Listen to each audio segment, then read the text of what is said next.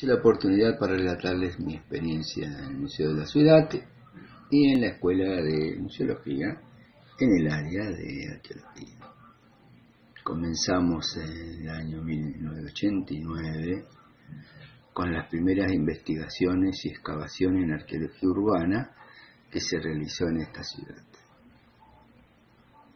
Experiencias pioneras en la Argentina, ya que esta fue la segunda ciudad en hacerse eh, arqueología urbana.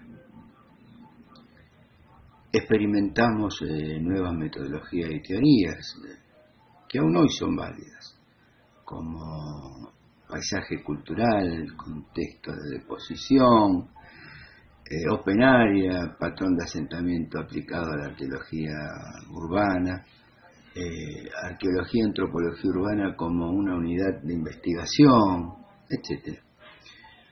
Prospectamos e individualizamos numerosos sitios de interés histórico-arqueológico que pudimos completar e investigar entre los años 2014 y todavía lo estamos investigando aún hoy.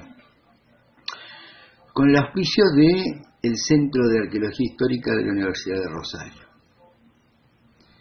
Las investigaciones emblemáticas más interesantes efectuadas en mi estancia en la Escuela de Museología fueron sin duda la del antiguo vaciadero de basuras municipales, conocido vulgarmente o popularmente como la basurita, y la que hicimos en la ex plaza Emilia Bertolé, que como sabemos es donde está ahora el pasaje juramento, que nos dieron información y material sobre las primeras manzanas de la incipiente aldea que era la ciudad de Rosario.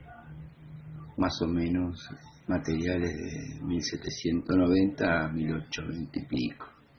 Esos materiales están en la Escuela de Museología y fueron investigados y también publicamos numerosas eh, publicaciones y eh, tareas de, de divulgación que hicimos desde la Dirección de Educación Municipal. Bueno, gracias por la ocasión de comunicarme de nuevo con esta querida institución y éxitos en su acción y actividad en el área de la museología y la arqueología que siempre desarrollará. Buenas, muy amable, gracias.